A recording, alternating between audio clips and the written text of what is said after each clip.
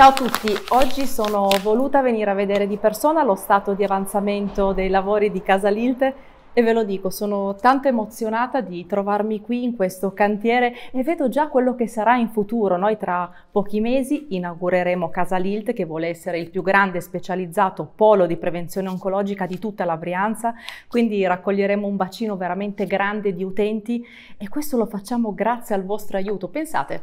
questa mattonella ad esempio potrebbe essere vostra, quindi aiutateci anche perché io sostengo da tantissimo tempo i progetti di Lilt, mi sta tutto molto a cuore e so che lo sta anche a voi, quindi pensate a questo centro, a quello che faremo, potremo fare prevenzione primaria, secondaria, terziaria, assistenza psicologica ai malati ma anche alle famiglie dei malati. Quindi contribuite, continuate ad aiutarci e veramente tanti tanti sassolini costruiranno davvero un progetto enorme.